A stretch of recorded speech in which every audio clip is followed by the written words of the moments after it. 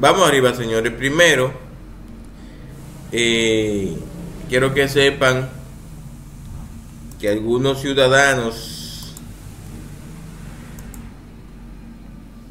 que viven en la ciudad Juan Bosch estuvieron anoche haciendo un poquito de escándalo, ¿verdad? Eh, se estaban manifestando de manera pacífica, tocando cacerola, reclamando, señores, servicio de, de luz y de agua potable. Yo recuerdo cuando la ciudad Juan Bosch estaba en construcción, recuerdo que, que fui por ahí, eso estaba bien chulo. Después que la terminaron no volví, pero he escuchado como que la ciudad Juan Bosch la han llenado de nacionales haitianos para que tengan una idea. Miren, yo voy a aprovechar voy a aprovechar, quiero hacer un comentario. Ustedes saben que yo viajo mucho a Santo Domingo, pero real y efectivamente cuando yo voy a Santo Domingo es por algunos compromisos. Entendemos que es la capital, ¿verdad? de la República Dominicana y por ende la población es más densa, es más grande, hay más personas. Pero a mí no me gusta Santo Domingo. Ustedes me disculpen lo que viven en Santo Domingo. No es por nada malo.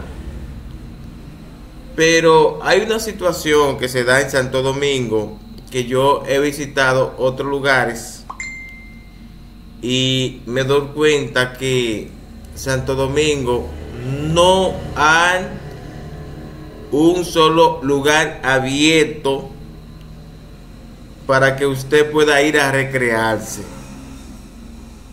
¿Comprende?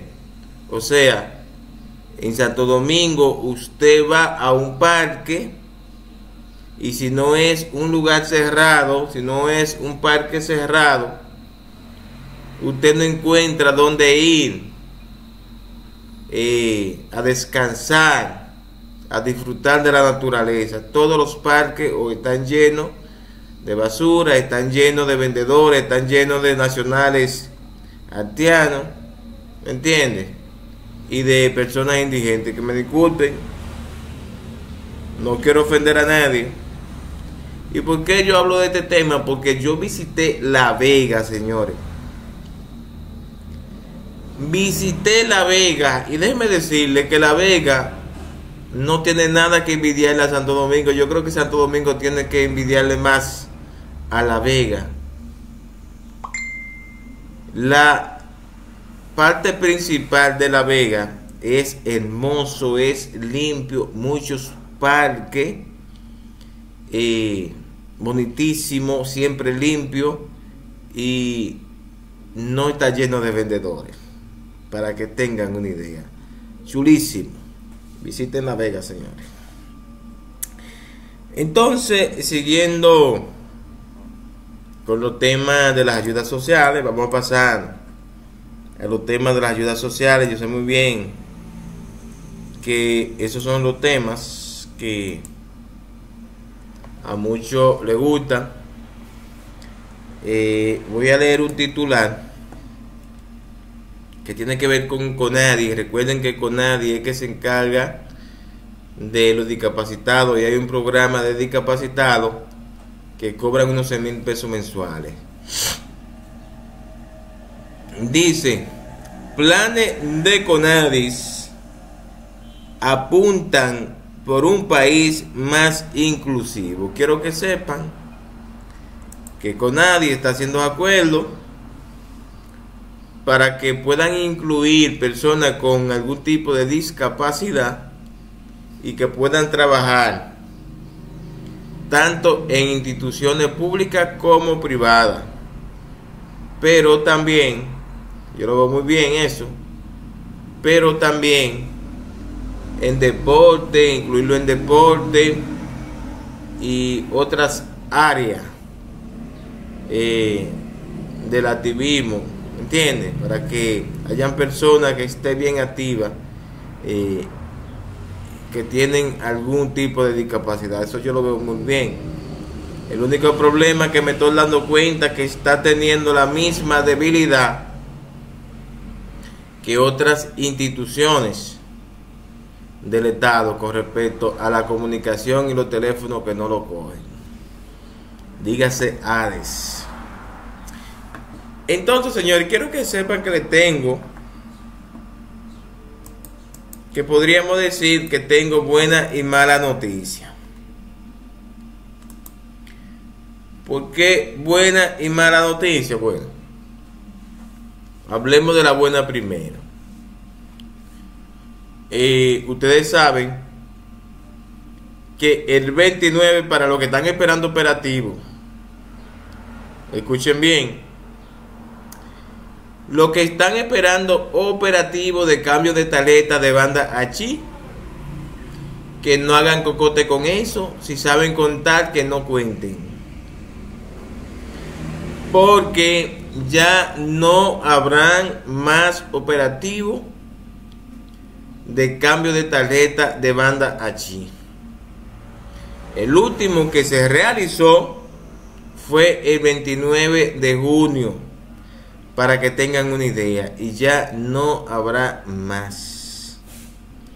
Entonces, eh, el administrador eh, Catarino Correa, que es quien coordina o quien dirige la administradora de sociedades sociales, ADES, y Gloria Reyes exhortan a los beneficiarios del programa Supérate que todavía no han hecho el cambio de tarjeta que vayan señores a una de las 34 delegaciones escuchen bien hay 34 delegaciones en todo el territorio nacional que usted puede hacer su solicitud de cambio de tarjeta. Y también al 8.go que también pueden dirigirse para solicitar el reemplazo de su tarjeta. ¿Me entiende? Esa es la buena noticia, o sea que todavía pueden. ¿Cuál es la mala noticia? Son varias malas noticias. que el 30 de este mes, o sea, no, de este mes, de julio, de junio, el 30 de junio, señores, escuchen bien, el 30 de junio, o sea, el 30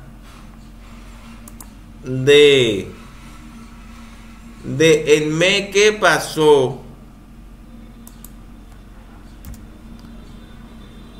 30 de junio bloquearon toda la tarjeta a vida y por haber de banda.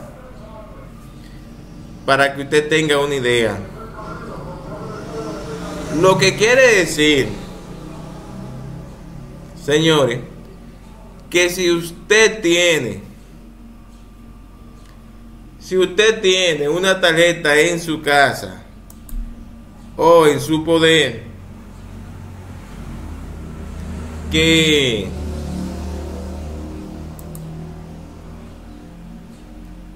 si usted tiene una tarjeta en su poder que es de banda, ya sea la, la verde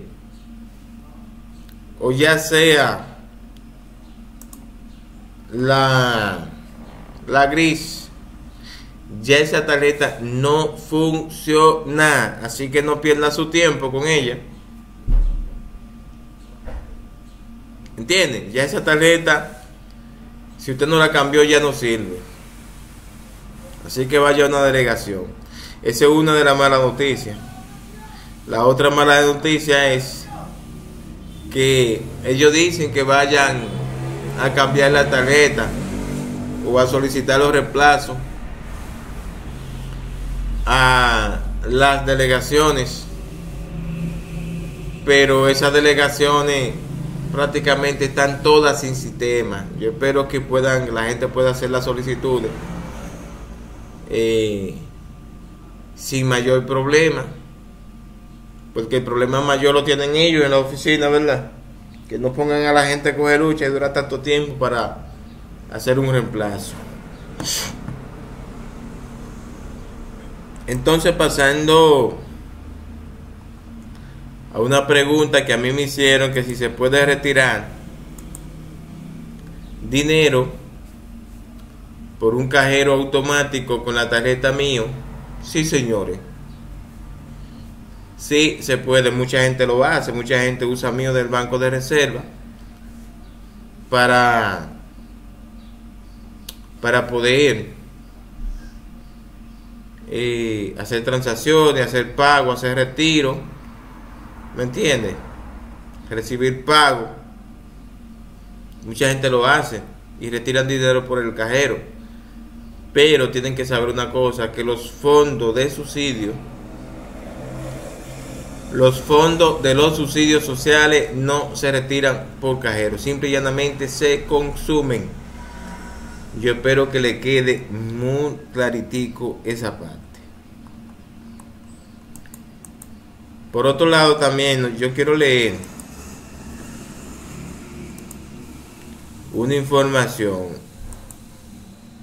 Era mucho más, pero solamente cogí el texto más importante. Eh, dice lo siguiente. El año escolar peligra para más de, de 1.300 estudiantes de la escuela primaria Eliseo eh, de Moricí en Samaná, por la cual eh, cientos de los padres, tutores, líderes comunitarios y los, y los mismos profesores han salido a las calles exigen respuesta ante una situación, señores, aula, falta de aula, o sea, el esa escuela, digo, la escuela no sirve. La escuela no sirve, pero yo lo que no entiendo, ¿cómo puede ser posible que esperen, se cierran las clases? Señores, si ese liceo había que, que demolerlo o, o repararlo, ¿por qué esperar que se abran la clase nuevamente? Pero además, si en el caso de que la reestructuración sea muy extensa, lleve mucho tiempo, ¿por qué no buscaron una salida? a tiempo y esperar que se abra la clase de nuevo. Vamos a ver qué sucede. Eh, están esperando respuesta del Ministerio de Educación. Señores, yo me encuentro que ese ministro de Educación, Ángel Hernández, no da un golpe ni de carácter. Yo no veo nada bueno. No veo construcciones de escuela en ningún lado. No veo. No veo construcciones de aulas. Señores, porque es que la, la matrícula escolar cada año aumenta. Yo no sé cómo que ellos no se han percatado de eso. Y ahora hay problema en todo el país con los cupos, para que tengan una idea. Eh, quiero que sepan que los que llegaron ahora, eh, los que llegaron ahora, que se suscriban al canal si todavía no lo han hecho, eh, tanto en YouTube como en Facebook, les voy a poner las informaciones nuevamente. Así que me dan un momento.